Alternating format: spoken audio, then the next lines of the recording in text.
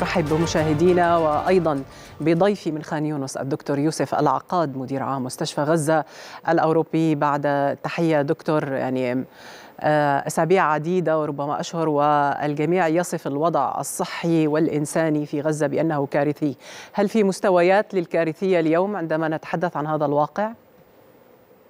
نعم كلمة كارثية لا تكفي لوصف الوضع الصحي الذي وصل إليه في قطاع غزة. لا سيما من المعلوم بأنه لم يتبقى من قلاع وزارة الصحة الفلسطينية في قطاع غزة إلا مجمع ناصر الطبي ومستشفى غزة الأوروبي في المنطقة الجنوبية من قطاع غزة بعد أن تم إخراج جميع مستشفيات قطاع غزة الحكومية وغير الحكومية عن العمل.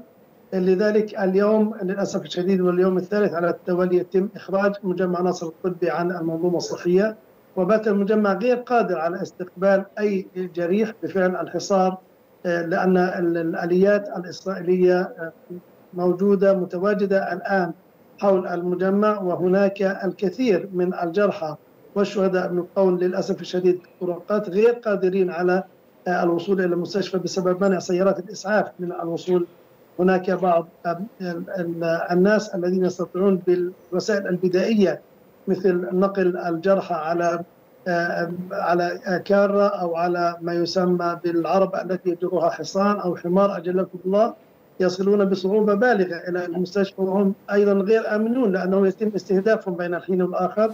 هؤلاء الجرحى الذين يصلون إلى المستشفى لا يستطيعون يعني إيجاد الخدمة المناسبة بسبب عدم إمكانية الوفود الطبية الزائرة وعدم إمكانية الطواقم المحلية من الوصول إلى المستشفى أيضا. لكم أن تتخيلون أنه الآن يوجد في قطاع غزة كثير من الوفود الأجنبية التي استطاعت الدخول عبر معبر رفح الدولي للوصول إلى مستشفى غزة الأوروبي. الآن هم متواجدون داخل مستشفى غزة الأوروبي ويحاولون الوصول إلى مجمع ناصر الطبي لإمكانية تقديم الخدمات الجراحية والعلاجية لمئات المصابين الذين هم الآن متواجدون على أسرة مجمع ناصر الطبي وهم بحاجة ماسة إلى مثل هذه الخدمات ولكن للأسف الشديد هم غير قادرون حتى اللحظة للوصول إلى المجمع.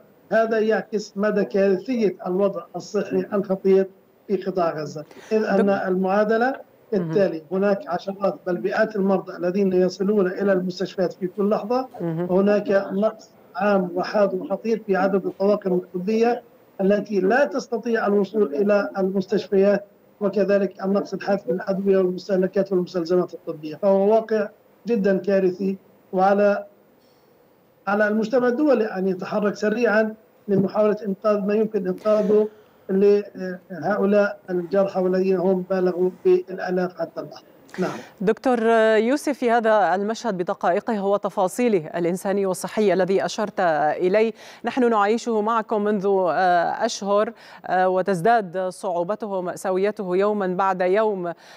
ويبدو أن العنوان مع الأسف هو نزيف حتى الموت بكل أبعاد هذا العنوان. نزيف حتى الموت يعني.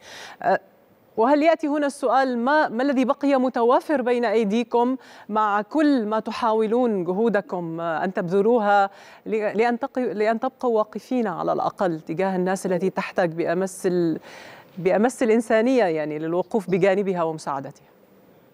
للأسف المتوفر هو القليل القليل لأن المساعدات الإنسانية الطبية التي من المفترض أن تصل إلى قطاع غزة بشكل سلس هناك عقبات وعراقيل كثيرة يضعها الاحتلال الإسرائيلي للحيلولة دون الحيلولة دون إيصال هذه المساعدات حتى الوفود الطبية الزائرة التي تتمكن من الوصول إلى قطاع غزة وما تحمله من مستلزمات وأدوية قليلة لا تتمكن إلى الوصول إلى مستحقيها ومحتاجينها في الوقت المناسب كما ذكرنا أن هذه الوفود غير قادرة على الوصول إلى مجمع ناصر الطبي حتى اللحظة.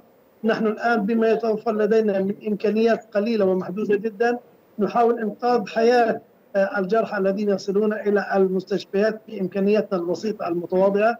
كنا دائما نتحدث عن خدمات طبية آمنة ذات جودة عالية ولكننا الآن نتحدث عن إنقاذ حياة الجرحى الذين يصلون إلى المستشفى.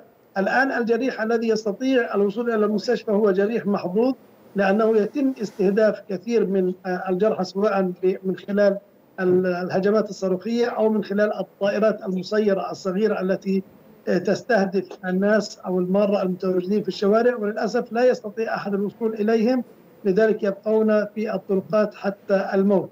وآخر من لفظ أنفاسه الأخيرة هو أحد الأطباء في قطاع غزة وهو يعمل في مجال الهيستوباثولوجي أو تحليل الأنسجة.